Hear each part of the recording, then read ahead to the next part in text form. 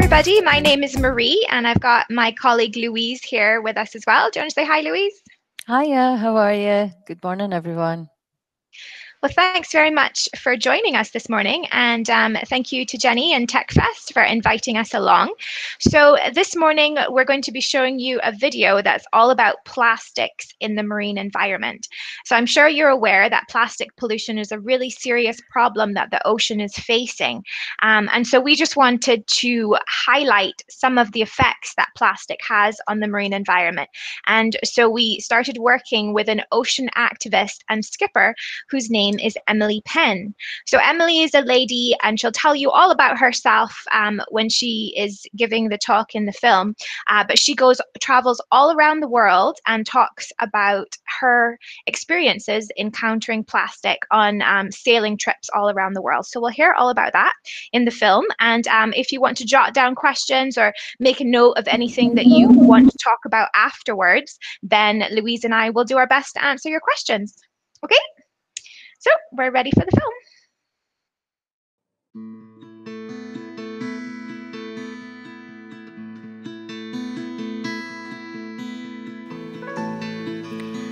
I'm pleased to be working with Macduff Marine Aquarium to help raise awareness around plastic pollution in our oceans.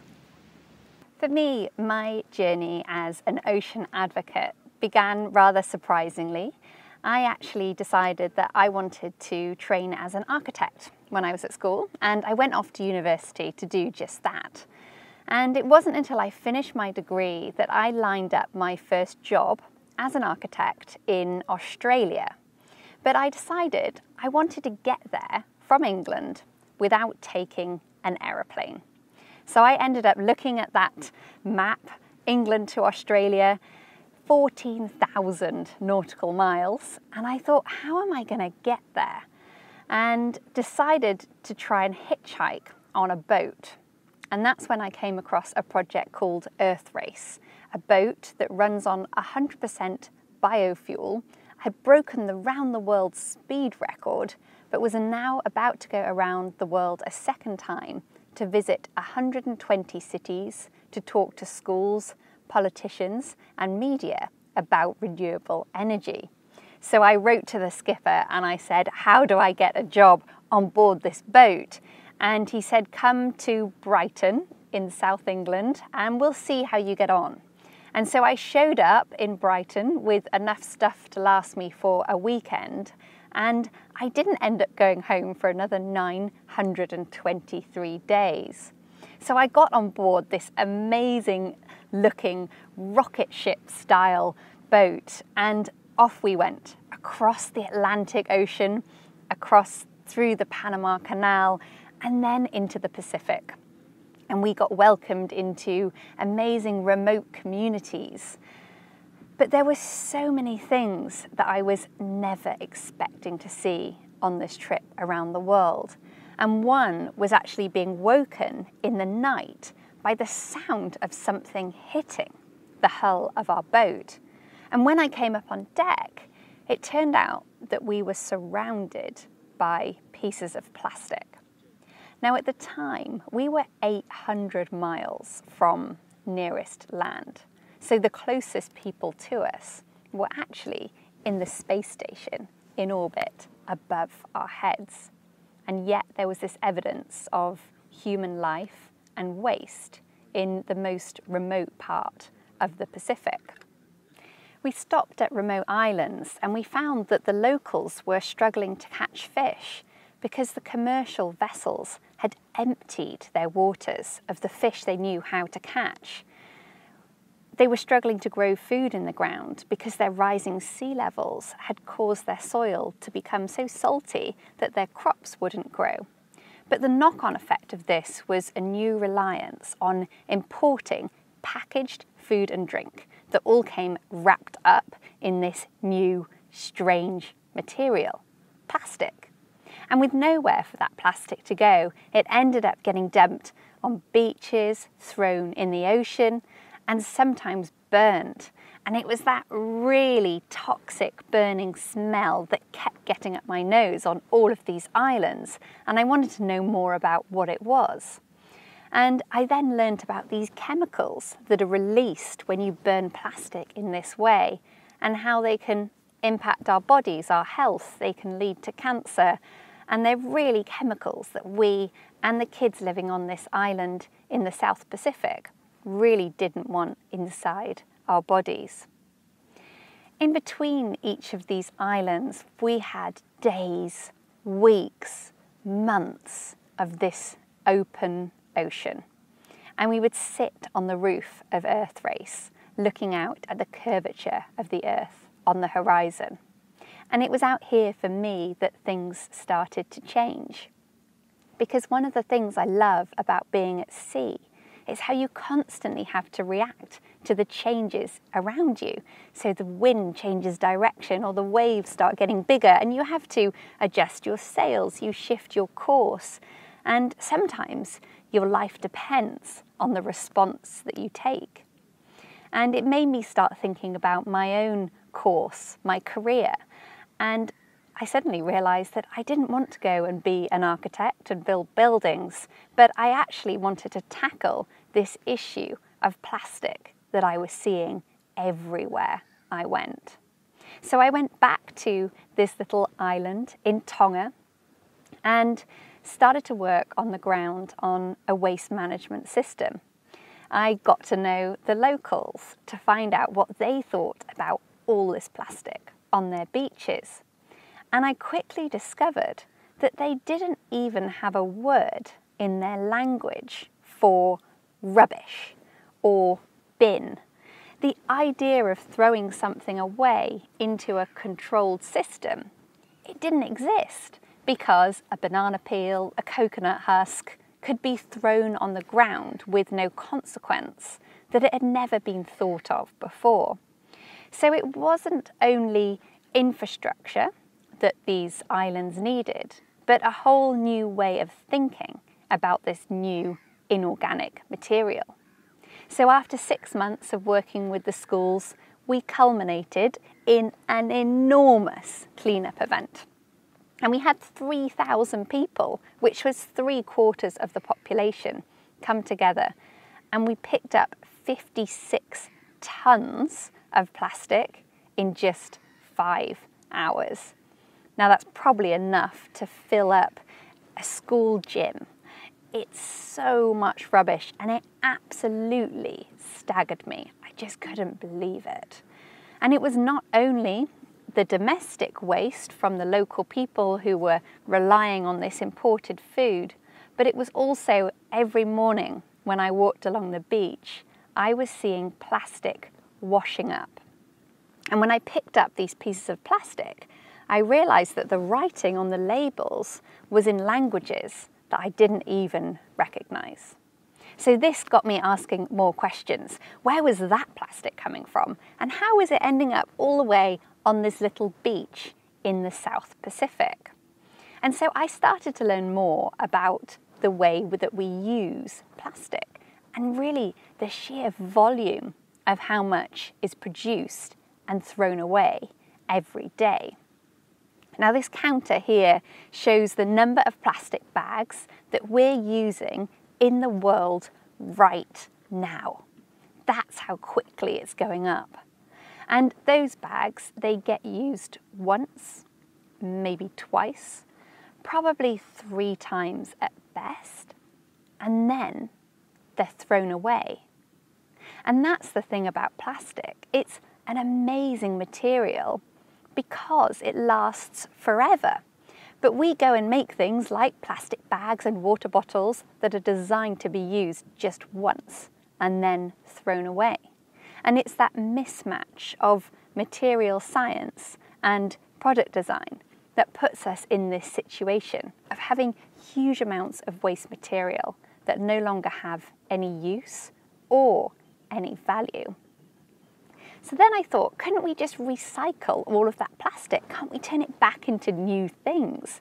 But it turns out only 9% of the plastic that we use actually gets recycled. And that number is so low because plastic is a word that we give as a name to hundreds of different materials. And they all have different properties Some of them are stretchy, some are hard, they might be clear or coloured. But to give them all of those different properties, they need to have a different chemical structure. But when you recycle plastic, you can only take one type at a time to get a good quality product at the other end. So all this plastic, it needs to be cleaned and sorted, and then you come across something like a toothbrush that's got three or four different types of plastic stuck together into one object, which makes it completely impossible to recycle. So all this waste with nowhere to go, lots of it goes to landfill, but a surprising amount of it escapes and it finds its way down streams, drains, rivers that ultimately run downhill to the ocean. When they get to the ocean, they then follow these ocean currents and end up in these hotspots around the world. We have five of these spots in our oceans and we call them gyres. And they are accumulation zones where, because of those ocean currents, all of the plastic eventually ends up in the middle. Now, I was becoming increasingly intrigued with where this plastic was going and how it was moving around the planet. So, after that project in Tonga in the Pacific, I decided to set off back to sea to try and find some answers to all of these unanswered questions. And so we set off to sail to the South Atlantic accumulation zone. We left Brazil, heading towards Africa, and we got out to the middle of this gyre, the place where we were expecting to find all of this plastic that we knew was leaving land. But what surprised us when we got there is actually it was beautiful and blue. We could see a piece of plastic here and another piece over there. We got our nets out on board and we started pulling up some pieces. And by the end of the first day, we had about 30 pieces of plastic piled on the boat. But it didn't make any sense because we know that 8 million tonnes of plastic is going into our ocean every year, and we could only find these 30 pieces. Where was the rest of the plastic going? Now, it turned out the plastic was there, we just couldn't see it. It was too small. So we built a manta trawl a big piece of metal with wings like a manta ray, and a net, a very fine mesh net off the back. And when we pulled that along the surface of the ocean and brought it back on board and turned it inside out, we found hundreds of tiny fragments of plastic, what we call microplastics. They're smaller than your little fingernail, and they make up the majority of the plastic in the ocean. They're not biodegrading and they're not going back into the natural circle of life. When they get smaller from the UV rays of the sun and the wind and the waves, they're simply getting into smaller pieces that are much harder to see and much, much harder to clean up. When we bring the samples on board, we then analyse them and we try and work out what's plastic and what's plankton the fish food that's floating on the surface of the ocean as well. And it turns out in this slide that these two pieces are actually plastic and they look almost identical to the plankton. So then we started catching fish and we found things like this rainbow runner that actually had 17 fragments of plastic inside its stomach, plastic that it had mistaken for food. So at this point, we started asking more questions about how has that plastic got into the food chain and if we're at the top of that food chain, then what might it mean for the health of us as well? And so there's very little evidence that connects the bottom to the top of this food chain, but I thought I'd skip right to the end and actually find out which of these chemicals that we're finding in plastic and the ocean also might be inside my body. And when I had a blood test, we looked for 35 chemicals that are banned by the United Nations. And of those 35 chemicals, we found 29 of them inside my body. Now, this I found really shocking. I think mostly because when we're talking about environmental problems, we're usually talking about something that's happening somewhere else, that we're watching on TV, that's maybe happening somewhere far away, that's going to affect us maybe in the future. But this test made me realize that actually already we have a chemical footprint, something that we will never get rid of. And at the moment, the levels of chemicals aren't alarmingly high that we need to be worried about our health, but it's a scary indicator of the direction that things are heading. So this sparked a whole new series of voyages for me called eXXpedition, an all women sailing mission to look at plastic and toxic pollution in our ocean and also our bodies. And at the moment, we are sailing around the world to understand really what plastic is out there in our ocean and where's it coming from so that we can stop it getting there in the first place. I want to share with you some clips of our sailing expedition across the North Pacific Gyre, which is better known as the Great Pacific Garbage Patch. We set sail with 14 women from Hawaii to sail to Vancouver, right through the heart of the Gyre. Here's a little of what we found when we got to Hawaii. Today we're on the east coast of Oahu and we're looking at what plastic is washing in. Oahu, one of the Hawaiian islands, really sits on the edge of the North Pacific Gyre that we're going to be sailing to next week. Plastic on this beach, it literally could have come from anywhere across the Pacific. America, Canada, Asia. A lot of it is single-use plastic, a lot of containers. Right here we've got a toothbrush. We've got a couple of pieces here which are interesting. You'll actually see along here that there are some teeth marks.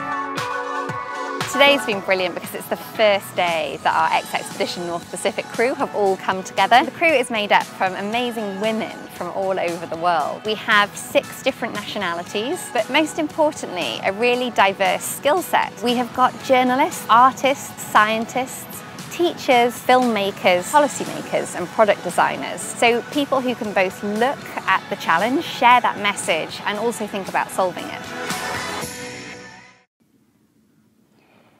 So we set off along the southerly shore of Oahu and we were in the shelter from the island. And then came the point when we turned the corner to feel the full brunt of the trade winds rushing across the Pacific. And the team on board were incredible. They came from all different skills and backgrounds, but not many of them were sailors. So the first week was a real challenge for everybody on board and you can see how they were getting on 48 hours in. In the last 48 hours, we've had wind, waves, rocking and a rolling. The food has been delicious. Eaten a lot, slept a lot, and helmed a lot. Very wavy conditions last night. Gusts of up to 40 knots. In a squall in the middle of the night. Full moon and stars. I've never been so afraid of drinking water. Not being sick, being sick. More sick than expected. Threw up in the wrong direction and got sick on my forehead. Challenges of trying to cook noodles at a 45 degree angle. Of trying to use the loo at a 45 degree angle. I think I've seen a turtle. I managed to cook some lunch in my underwear. And singing Fleetwood Mac up top of our lungs. I really enjoy everyone here and their company makes me uh, kind of a release about that seasickness. It's been wonderful. And we're almost heading in the right direction for the Gyre. so life living at 45 degrees was a huge challenge, but as you can see, the team dealt with it well, with a lot of humour on board. But then, on day six, the sun came up and we could see over the side of the boat, and the mood on board really changed.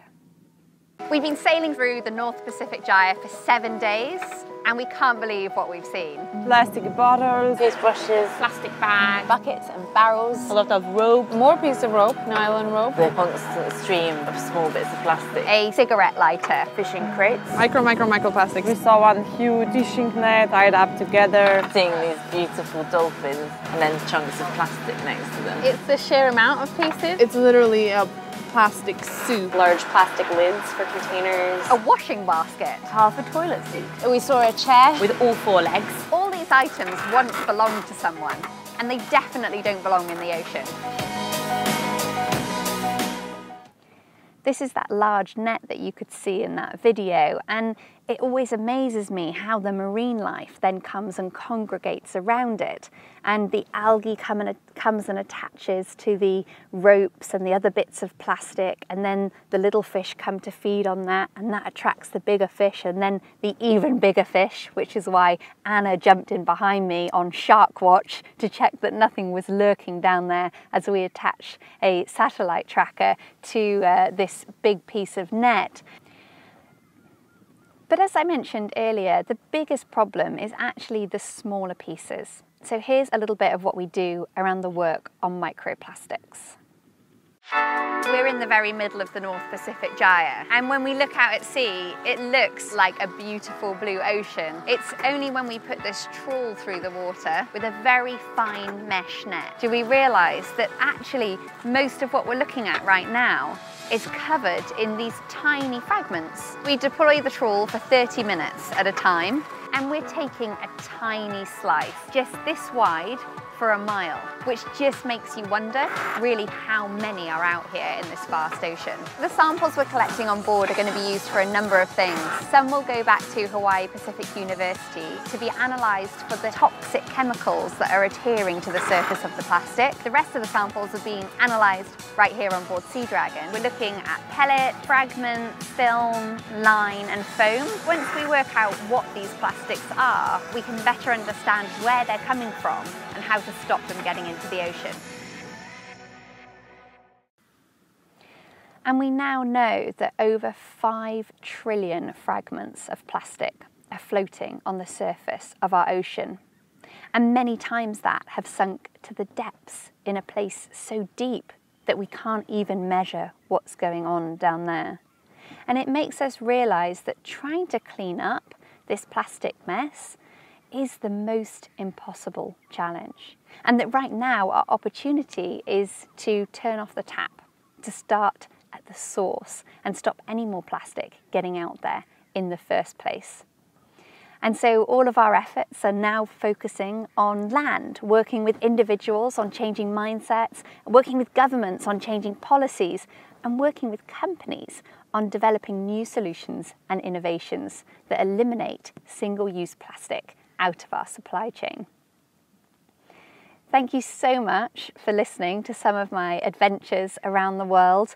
I hope that you've all been inspired to take action on plastic pollution and think about how you can use the power that you have to be part of solving this problem. The more I've worked on this issue, the more I've realised that there's not one solution to all of this. But the great news is there are hundreds, and we need to be doing all of them, just one or two of them each, to be minimising the single-use plastic that we all use every day and to maybe going beyond that to see how we can influence others and their plastic usage as well.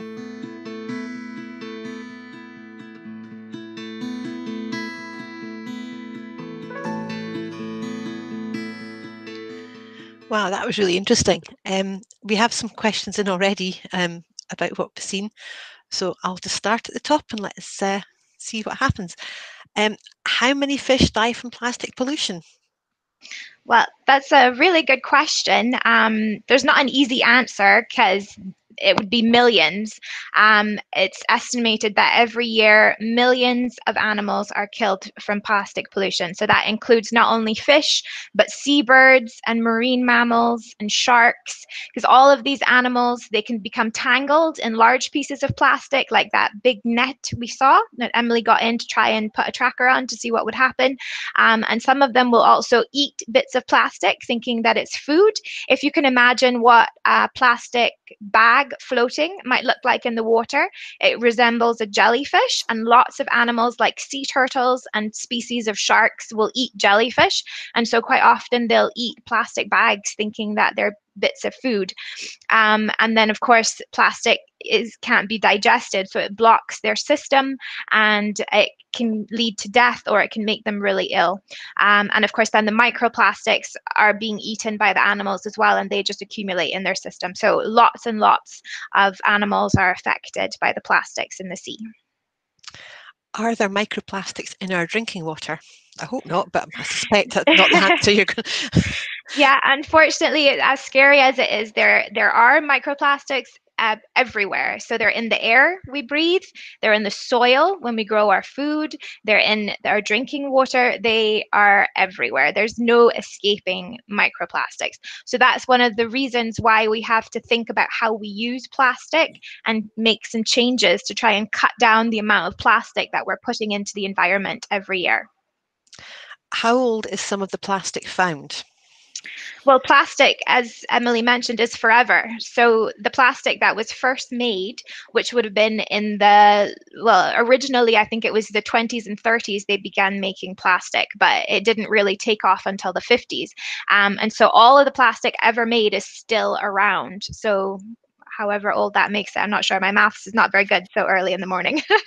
the first piece of plastic that was found was off the shores of Ireland, and it was a plastic carrier bag, and that was in 1965. So they believe that the first plastic found in the oceans was um, 1965. Thank you, Louise.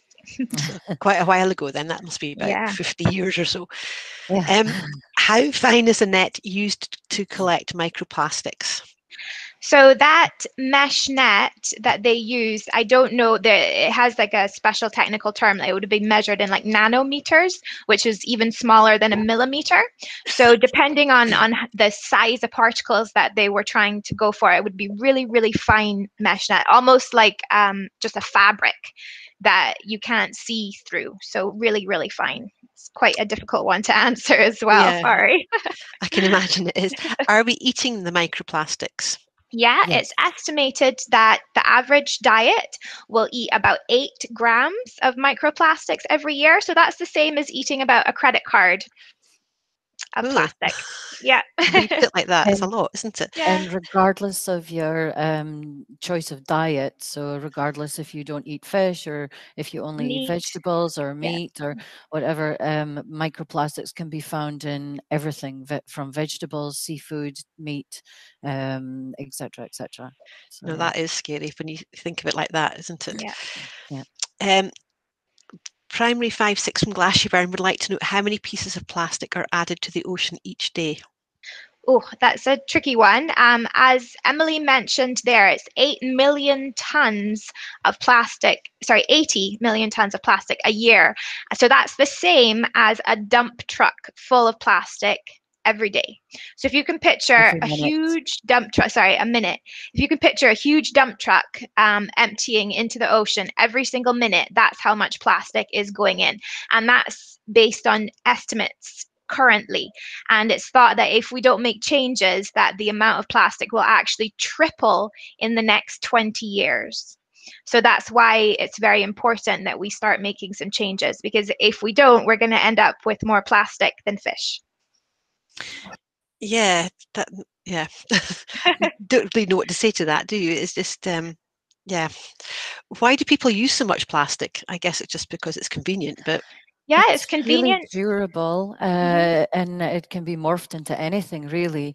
Um, plastic is not really our enemy because we will always need plastic throughout our life. However, our enemy is single-use plastic. So, for instance, water bottles or or plastic bags or um, perhaps toothbrushes and things like that. Things that we do have. Al- yeah, we do have alternatives to. For instance, there's uh, companies that's researching using seaweed um, uh, instead of plastic. So they're using um, seaweed.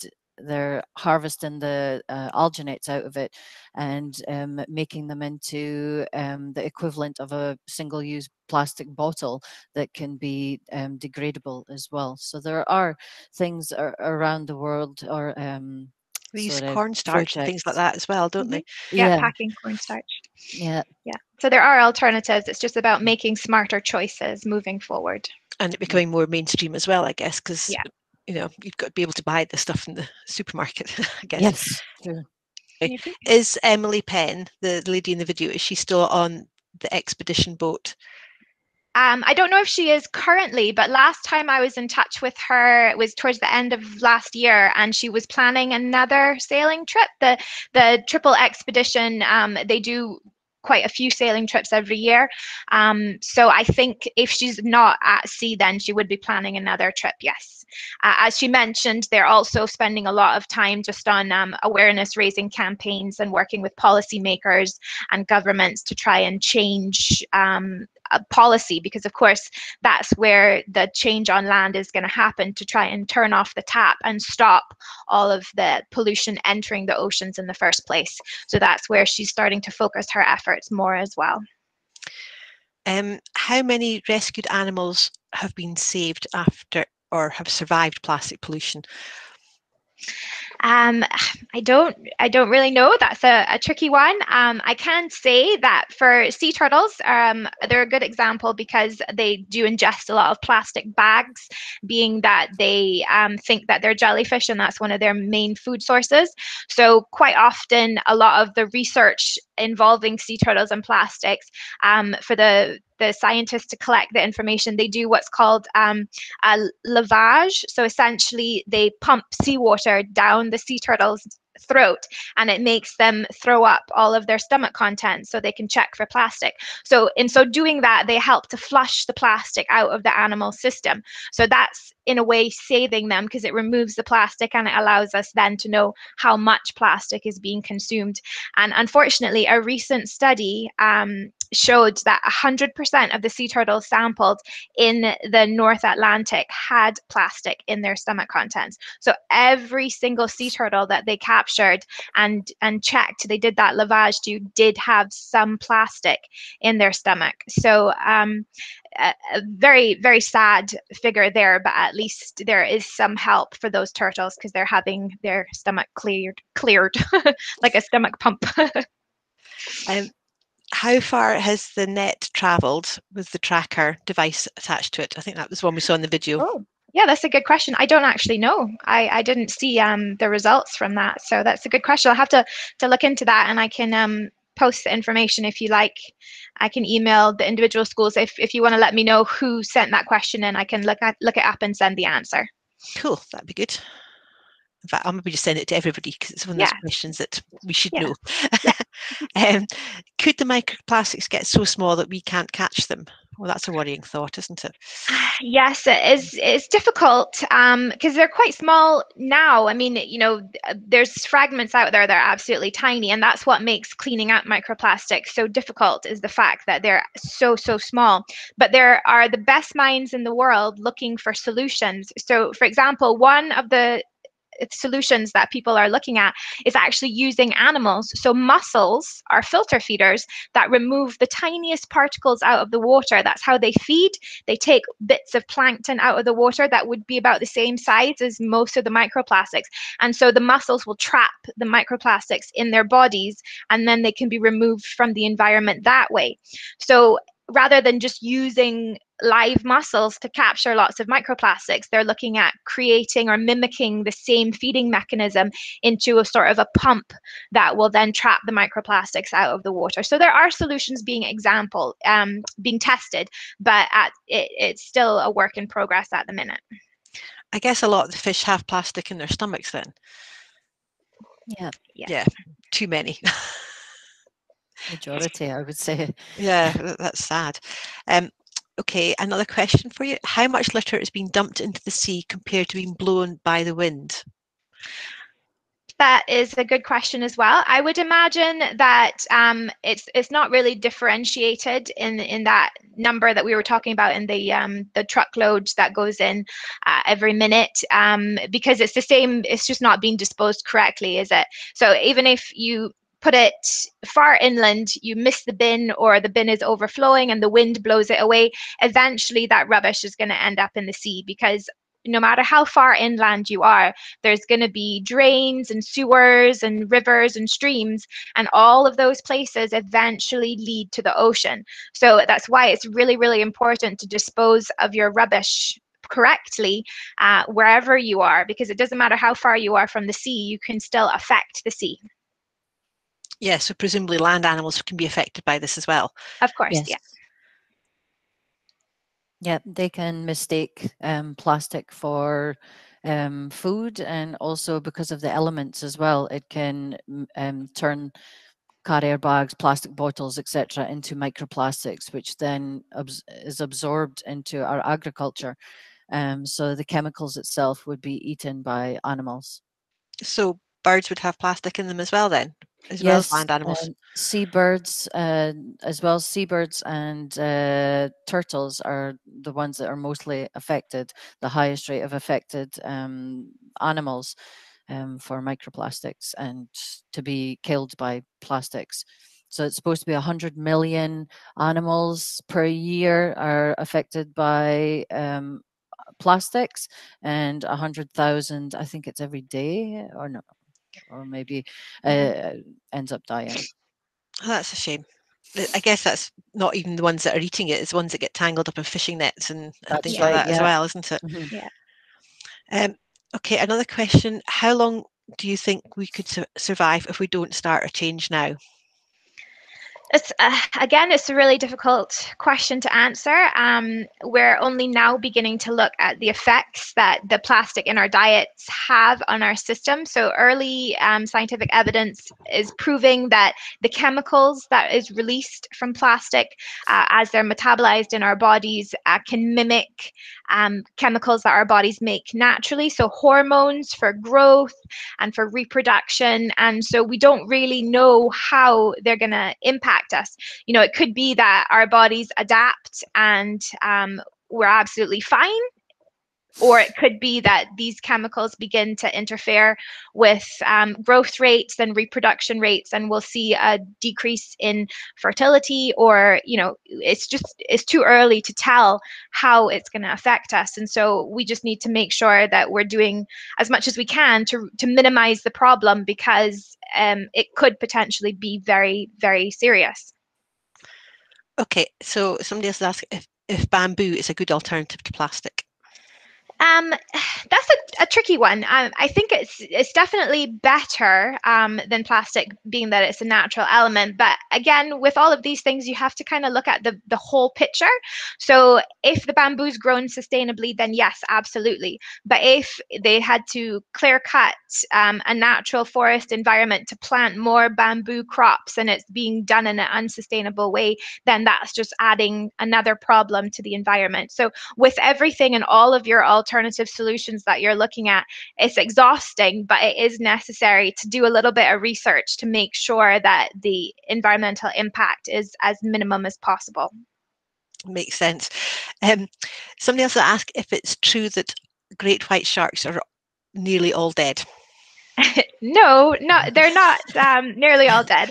Uh, many many shark species are endangered, um, and that's because sharks have a really slow life cycle. So they take a really long time to grow up, and then when they do have babies, they don't have a lot of babies. Like for example, the cod, the big fish that you see swimming over our shoulders all the time, they will have or or, or produce about eight million eggs every year. So that's you know loads of babies. Not all of them live, of course. Lots of them die because they're tiny, tiny little larvae. But it's still a huge amount of babies they're producing. Whereas a shark will have mm, maybe 20 to 40, depending on the species. So much, much lower numbers. Um, so if you're catching lots of sharks and fishing, uh, then obviously they don't recover the same way that cod can, which is why there's a, a much bigger cod fishery than there is a shark fishery. Uh, but great white sharks are their numbers are are lower than they would be normally because there's been lots of, of culling of sharks in many parts of the world, um, but they're not endangered yet. Good. and here's a good question: Does the plastic that sinks to the bottom of the ocean kill plants? So presumably the, the seaweed and, and whatever's lying on the, the ocean floor. Um, it can do. It depends on how deep it, it, it sinks. Because in the deep ocean, there's no plants at the bottom because there's no sunlight to penetrate because it's too deep. The sunlight only penetrates down to about the first 20 meters in, in our coast. It can go deeper in tropical waters that are really clear, but you need to have the sunlight in order for the plants to live. Um, so if a large piece of plastic was to fall on a bit of kelp reef, let's say, um, it probably won't kill the kelp to be honest because the currents will keep it moving and so it wouldn't smother them. Um, so i would think that most of the time the plants would be okay actually. That's good then. It's yeah. positive to come out of all this. Um, somebody's asking what their class could do to help the plastic problem that is a brilliant question. So mm-hmm. there's lots of things that everybody can do. Um, and some of the easiest things that you can do is to make sure that you cut down on your single-use plastic. So don't buy things that have lots of single-use plastic. If they have excessive wrapping or packaging, try to avoid that. You take your own carrier bags when you go shopping. Buy a reusable water bottle like this one. Um, you know, other drinks cups and stuff just to reuse stuff as much as possible. Um, when you outgrow your clothes and your toys instead of binning them you can take them to charity shops or sell them on to somebody else and you can get used stuff as well um, to replace your old stuff so that you're helping to recycle clothing and toys and books and just to reuse and recycle as much as you possibly can that's that was a good question. That one. Um, somebody else is asking: Have more people joined the expedition boat? Um, I think what they do is they they rotate people through. Of course, they're limited the the size of the crew by the size of the boat, um, but they have a lottery and they rotate people through because they like to have uh, a wide variety of talents on board so that people can take their experiences and enact solutions when they go back to their day jobs. That makes sense. Um, how does the plastic get smaller? That's from Glashieburn. Do you want to answer that one, Louise? Yep, no problem. Um, plastic gets smaller in the ocean just from um, the crashing of the waves, for instance. Uh, so you've got the tides, you've also got it rubbing up against rocks. So it's just basically the same as how um, sand is produced. So sand is made of um, small pieces of stones, rocks, shells, everything just gets ground together. Um, and this is how the plastic gets smaller as well. Okay, does the fishing industry collect any of the plastic? I'm guessing they'll post them up in their nets. Yeah, they post they, them up in their nets, yeah, and um, for and they do tend to keep the larger ones um, um, from a fishing family, and um, they tell me quite often that they pick up this, that, or the next thing. So they try not to throw it back overboard, and um, they try and keep it, and then um, get rid of it the responsible way. Sorry, yeah. I, I, had people here just now. yeah, we, are now open to the public, so we're going to have visitors appearing shortly. Um, there's also an initiative for fishermen to bring in any nets that they find. So if nets become lost at sea and other fishermen find those nets, they can bring them in, and um, they there's like an initiative where they can hand those nets in to be recycled, or they can repurpose them themselves. So fishermen do do a lot for the environment. Is the government doing anything about it? I'm guessing there, they probably are somewhere, but yeah. Yeah. There, there's um. Well, I'm sure you are, have heard about the ban on plastic straws, mm. um, and there's a, a, a ban on microbeads as well. That was quite recent. So I don't know if anybody's heard of microbeads, but um, they would be the face cleansers and soaps and things like that used to have these little plastic beads in to make them scrubby. Um, and that was a thing for quite a long time. But of course, they just go down the drains and end up in the sea. So there was a recent um, ban on those because they're a, a, big source of microplastics in the marine environment. Um, so they're now banned in the UK since 2009, um, but it's only in wash off products. So lots of cosmetics, um, like glitter nail polish is an example of a microplastic plastic. Glitter is a microplastic. So any cosmetics that have glitter, unless it's bio glitter, is a, a polluting type of product. Um, so there's there is pressure, and there's lots of petitions that are going around to put pressure on the government to do more. So eh, that's something that, as a class, you could do. You could write a letter to your MP, or you could write a letter to the government, or you can sign a petition saying that you would like the government to ban microplastics from all cosmetics. Or there's um, another one that's moving forward um, that's just about the types of plastic that people can use in packaging. So, for example, polystyrene is a really, really nasty type of plastic because it can't be recycled anywhere easily. And it also leaches chemicals that can cause cancer. So, it's one of the nastiest types of plastic that we still use today. So, it would be great if we could get the UK government to ban polystyrene. So, that's something that you can work on as a class. You could write a letter to Parliament or you can just go on and sign a petition to help ban those sorts of materials. Cool. Um, is it only plastic that are killing animals, or is there other waste involved as well? Well, there's there's lots of other waste out there. Um, the plastics is one of the largest problems that the marine environment is facing just now. But I mean, it's not the only problem by any means. I'm sure everyone has also heard about um, global warming or global environmental change, um, and that's another issue that's facing the animals. But um, the the way that it works, the thing is, is that you know all of these little factors put stress on the animal. So if you can think about, uh, you know, an animal in the zoo uh, and think about they're living in a controlled environment, but suddenly if uh, the temperature is too hot, they're under a bit of stress and they can cope with that. They'll be okay. They'll get used to the temperature being too hot.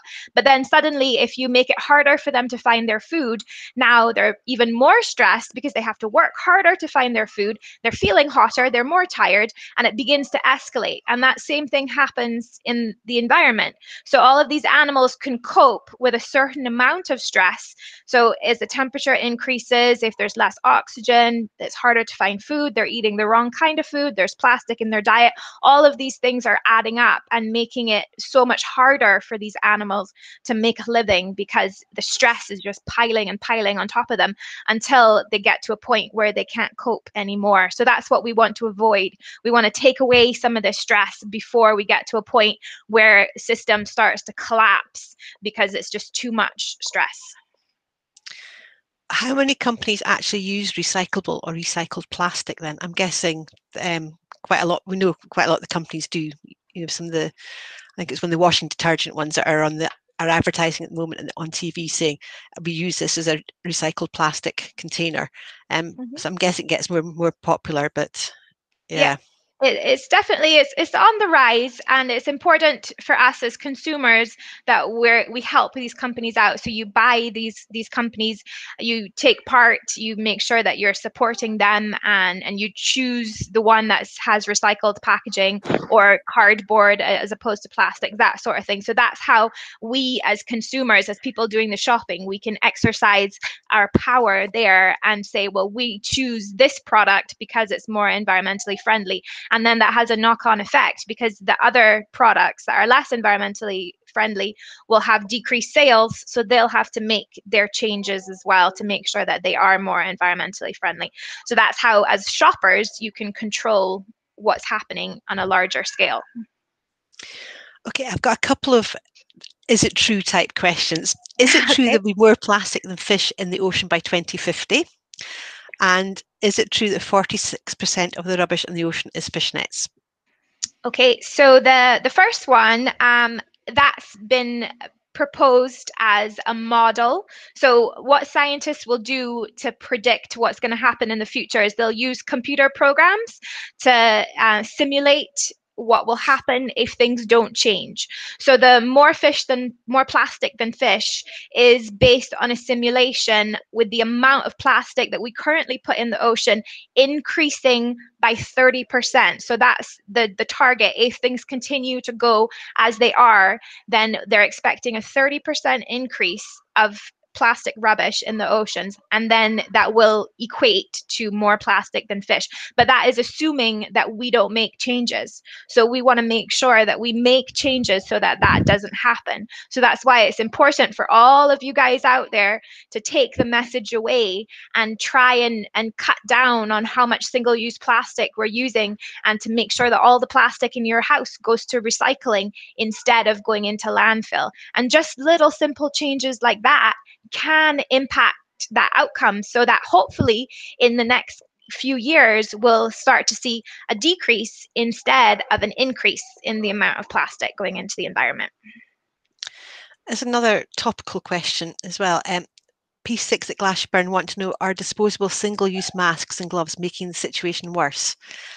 I'm guessing yes. that's probably a yes. yes, unfortunately, they are. Um, COVID related pollution is showing up in lots of environment, in lots of coastal environments.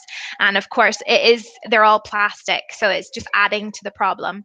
So unfortunately, yeah, I mean, if you can use reusable masks as much as possible, because um, it's, it's very much uh, the best thing that you can do for the environment sorry i skipped. There was the other true or false. One was about um, the percentage of waste that fishing was net. fishing nets. Yes um did i think that one was in that seaspiracy documentary and i don't think that that's accurate anymore. It might have been at one point in time and i know there is a large amount of plastic that is in fact um you know nets that are lost at sea but that number seems a bit high to me. The highest percentage of uh, uh, trash plastic in the ocean is plastic bags. Plastic bags, yeah, that makes more sense. And of course, then just the microplastics. Yeah. yeah. Uh, okay, another interesting question. How deep does the plastic go down into the ocean? It's been found in the absolute deepest parts of the ocean, so it's everywhere, uh, absolutely everywhere. Um, they they don't go to the deepest parts of the ocean very often, um, but uh, um, the last time a submersible went into the bottom of the Marianas Trench, which is the deepest portion of the ocean, they did find evidence of plastic there. There was plastic bottles, fishing crates, um, and, and just other plastic debris that they could show on the camera footage that they took. Okay, I think um, there's a few people trying to leave now. I guess yeah. it's break time or something. Yeah, yeah. so I'll make this the last question. Does your aquarium fish have microplastics in them?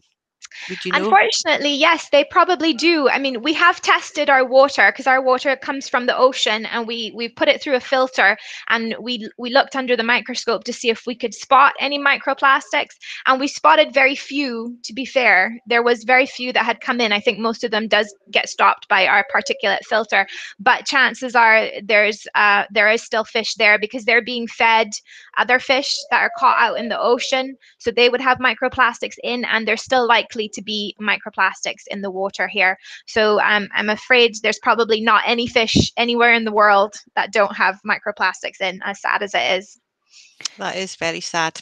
Um, one of the questions, sorry to interrupt, one of the questions is if they put water underneath a microscope, um, could you see microplastics? Well, one of the experiments we do here quite regularly in the aquarium is we take some of the sand from the beach just outside our facility and we put it um, we put it through a filtration system and then we look at it underneath a microscope. And even in this remote part of the of the world um, there is always pieces of microplastic um, in each sample that we take. So every single sample we take uh, has got microplastics in it of some sort Wow, you just don't realize how yeah. widespread it is, but, but yeah, it's very close to home as well as being in the Pacific or, or you know thousands of miles away.